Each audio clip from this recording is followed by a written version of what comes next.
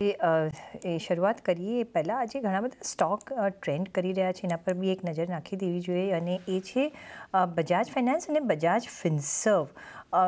કેવા બંને આ કાઉન્ટર પર કઈ રીતના તમે નજર રાખશો? જતીન એમાં બજાજ ફિન્સર્વે આજે એક ફિફ્ટી ટુ વીક્સ હાઈ પર બનાવ્યા છે. બંને કાઉન્ટરમાંથી કયો ચૂઝ કરશો તમે? જો ઓવરઓલ બંને કાઉન્ટર્સ થોડા અંડર પરફોર્મિંગ હતા, પણ આઈ થિંક ઓફ લેટ બંને કાઉન્ટર્સે એની જે અપટ્રેન્ડ છે એ બહુ લેટ સ્ટાર્ટ કરી છે, પણ nevertheless trying to cope up with the overall align with the overall market તો અમને લાગે છે in the case of Bajaj Finance એમાં એક રિસ્ક રિવોર્ડ પર્સપેક્ટિવથી મને લાગે છે કે બજાજ ફાઇનાન્સમાં અપસાઇડ પોટેન્શિયલ વધારે છે. ડેફિનેટલી બંને સ્ટોક્સ બજાજ ફિન્સવ અને ફાઇનાન્સ સારા જ લાગે છે, પણ રિસ્ક રિવોર્ડ પર્સપેક્ટિવથી અગર જો જોઈએ તો બજાજ ફાઇનાન્સ હજી એના ઓલ ટાઈમ હાઈસથી ઘણો દૂર છે, એટલે એમાં પોટેન અમે એમ જોઈએ છીએ કે એમાં પોટેન્શિયલ વધારે છે. તો in the case of Bajaj ફાઇનાન્સમાં કે સાત હજાર ચારસો, સાત હજાર પાંચસો ના level in the short term આપણને જોવા મળી શકે. અને સ્ટોપ લોસ આમાં રાખવાનો રહેશે સાત હજારનો. તો Bajaj in comparison of Bajaj Finance and Finserv Bajaj ફાઇનાન્સમાં risk reward perspective better છે. ઓકે તો સાત હજારના સ્ટોપ લોસથી બજાજ ફિનાન્સ તરફ તમે નજર રાખી શકો છો. Risk reward point of view અહીંયા પ્રોસ્પેક્ટ સારા છે, તો બજાજ ફિનાન્સ પર તમે ખરીદી ઇનિશિએટ કરી શકો છો. અત્યારના જે આપણે જોઈએ તો સાડા ત્રણ ટકાની ઉપરની તેજી તમને બજાજ ફિનાન્સમાં જોવા મળશે. શરૂઆત કરીએ છીએ સવાલ જવાબ સાથે. ઘણા બધા સવાલ આવી ગયા છે. પણ દર્શકો સોરી આજે મારે ઘણા બધા એક મેજર ન્યૂઝ પર કવર કરવાના હતા. અને હવે આપણે ફટાફટ શરૂઆત કરીશું. શૈલેષ પટેલનો સવાલ આવ્યો છે. જીઓ ફાઇનાન્સ અને ઝાયડસ વેલનેસમાં ફ્રેશ એન્ટ્રી કરવી હોય શોર્ટ ટર્મ માટે જતીન, આ બંને કાઉન્ટરમાં કરી શકાય?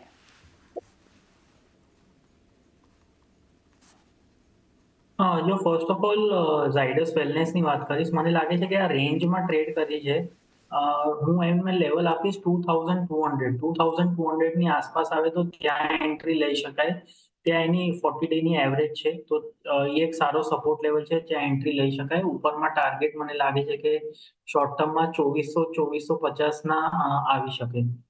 In the case of Jio Finance Jio ફાઇનાન્સમાં મને લાગે છે કે એક રેન્જમાં ટ્રેડ કરી રહ્યો છે. અગર જો એને ફ્રેશ એન્ટ્રી લેવી હોય તો થ્રી થર્ટી ફાઈવના લેવલ્સની ઉપર મને લાગે છે કે ટ્રેન્ડ રિવર્સલ આવી શકે. એટલે થ્રી થર્ટી ફાઈવનો લેવલ એક ક્રુશિયલ લેવલ રહેશે જે ધ્યાનમાં રાખવાનો રહેશે. થ્રી થર્ટી ફાઈવની ઉપર લોંગ કરી શકાય. સ્ટોપલોસ રહેશે ત્રણસો વીસ રૂપિયાનો અને ઉપરમાં ટાર્ગેટ રહેશે ત્રણસો સાહીઠ અને ત્રણસો સિત્તેર રૂપિયા.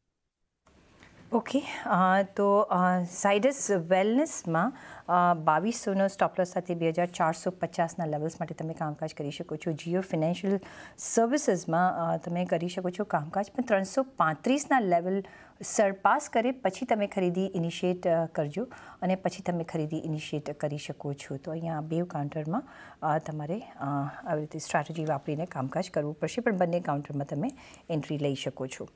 નેક્સ્ટ સવાલ પર જઈશું અને નેક્સ્ટ જે સવાલ છે એ વરુણ શાહનો છે. હુડકો ત્રણસો ચોવીસ રૂપિયાની એમની ખરીદી છે. ઓરિયન ટેકનોલોજીનો આઈપીઓ એમને લાગ્યો છે બસો છ રૂપિયામાં અને બીઈએલ ત્રણસો ચાર રૂપિયાના એમની પાસે કાઉન્ટર છે. આ ત્રણેયમાં શું સ્ટ્રેટેજીથી કામકાજ કરવું જોઈએ, આસ્થા? સૌથી પહેલા આપણે ઓરિયન ટેકનોલોજીસના આઈપીઓની વાત કરીએ તો મારી રેકમેન્ડેશન સબસ્ક્રાઇબ કરવાની હતી લિસ્ટિંગ ગેન અને લોંગ ટર્મ માટે.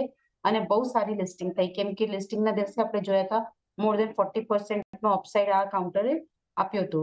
સો આ હવે એનામાં જે મેઇન ફોકસ પોઈન્ટ હતો, કેમ કે આઈટી ક્ષેત્રની આ કંપની હતી બટ એનું જે મેઇન ફોકસ પોઈન્ટ હતું, એની રિઝનેબલ વેલ્યુએશન હતી.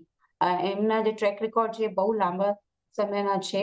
અને વેલ્યુએશન જેના પર એ લઈને આવી રહ્યા હતા around twenty twenty one price to earning multiple પર હતા. જ્યારે આપણે ઇન્ડસ્ટ્રીની વાત કરીએ તો more than thirty price to earning multiple થાય છે. સો એને હિસાબે પણ આપણે એક રાઇઝ જોયા હતા ઓરિયન ટેકનોલોજીસના આઈપીઓમાં પણ મારે હિસાબેથી અત્યારે હવે જે અમારા ટાર્ગેટ્સ આવી રહ્યા છે કાઉન્ટરમાં એ તીનસો પચાસના છે તીનસો ચાલીસથી લઈને તીનસો પચાસના ત્રણસો પચાસના એ હું વાત કરી રહી છું ઓરિયન ટેકનોલોજીસ માટે. તો મારા હિસાબેથી હવે એ અલોટમેન્ટમાં આવ્યા છે. તો હોલ્ડ રાખો અને ત્રણસો ચાલીસ, ત્રણસો પચાસમાં નીકળવાનું થોડું પ્રયત્ન કરો કે પાર્શિયલ પ્રોફિટ બુક કરો. પણ નવી ખરીદી માટે અત્યારે રાય નથી કેમ કે બહુ વધી ગયો છે. સો નવી ખરીદીના જે લેવલ્સ લાગે છે, બસો અસ્તી તે લઈને ત્રણસો ના છે બીજી તરફ આપણે વાત કરીએ, બીજું કાઉન્ટર જે હતું એ ભારત ઇલેક્ટ્રોનિક્સ હતું, એ બહુ સ્ટ્રોંગ કાઉન્ટર છે. લોંગ ટર્મ માટે મને અત્યારે પણ સ્ટ્રોંગ લાગે છે. કેમ કે જે પ્રકારનો ડિફેન્સનો ગવર્મેન્ટનો અહીંયા ફોકસ છે પ્રાઇમ બેનિફિશિયરી રહેશે. હોલ્ડ કરવાની સલાહ છે. ઇનિશિયલ ટાર્ગેટ ત્રણસો ત્રીસનો રાખી શકે છે. ત્રીજો કાઉન્ટર એમને પાસે હુડકો હતો. હુડકોની આપણે વાત કરીએ તો આ કાઉન્ટર મને ઓકે લાગે છે, કેમ કે વેલ્યુએશન કાફી વધી ગયા છે. વેલ્યુએશન્સને લીધે થોડું કન્સર્ન છે. સો આ કાઉન્ટરમાં અગર પ્રોફિટ વધારે હોય તો પાર્શિયલ પ્રોફિટ બુક કરવાની સલાહ છે, પણ પાર્શિયલી કરો, કેમ કે લોંગ ટર્મ પ્રોસ્પેક્ટ એના પણ હાઈ છે. ત્રણસો, તે લઈને ત્રણસો દસના ટાર્ગેટ અમે આ કાઉન્ટરને આપી રહ્યા છે ઇનિશિયલી ઓકે તો હુડકોમાં ત્રણસો દસના ટાર્ગેટ માટે તમે અહીંયા ઊભા રહી શકો છો. ઓરિયન્ટમાં નવી ખરીદીની અમે સલાહ નથી આપી રહ્યા. ઓરિયન્ટ ટેકનોલોજીમાં જે ન્યૂલી લિસ્ટેડ કંપની છે. ત્રણસો પચાસના ટાર્ગેટ માટે અહીંયા જેની પાસે છે એ ઊભા રહી શકીએ છે. બીઈએલમાં ત્રણસો ત્રીસના આપણે ટાર્ગેટ જોઈ રહ્યા છે. તો અહીંયા પણ આપણે કામકાજ કરી શકીએ છીએ. તો બંને, ત્રણેયમાં આઈ થિંક હોલ્ડ તમે કરી શકો છો કાઉન્ટર્સમાં નેક્સ્ટ સવાલ પર જઈશું. અને નેક્સ્ટ સવાલ જે છે પાર્થ દવે પૂછી રહ્યા છે અને એમને આજે બે કાઉન્ટર કોઈ લેવા હોય તો શોર્ટ અને મીડિયમ ટર્મ ટાર્ગેટ માટે જતીન કયા એવા બે બે કાઉન્ટર તમે સજેસ્ટ કરી શકશો? હા, જો ઓવરઓલ અગર જો બાઇંગમાં કરવું હોય તો મને લાગે છે કે બે સેક્ટર્સ જે અમે રેકમેન્ડ કરી રહ્યા છે એ એફએમસીજી છે અને સાથે સાથે આઈટી અને ફાર્મા એટલે આ બેથી ત્રણ કાઉન્ટર્સ જે છે જે અમે રેકમેન્ડ કરી રહ્યા છે અને અગર જો એમને મીડિયમ ટર્મ માટે લેવું હોય તો ડેફિનેટલી હું સજેસ્ટ કરીશ કે હિન્દુસ્તાન યુનિલિવર એક કાઉન્ટર જે છે એમને ડેફિનેટલી સ્ટાર્ટ કરવું જોઈએ એક્યુમ્યુલેટ કરવા માટે. કારણ કે ઇન ધ મીડિયમ ટર્મ મને લાગે છે કે ત્રણ હજારથી લઈને એકત્રીસોના લેવલ પણ આ સ્ટોક ઇઝીલી ટચ કરી શકે છે.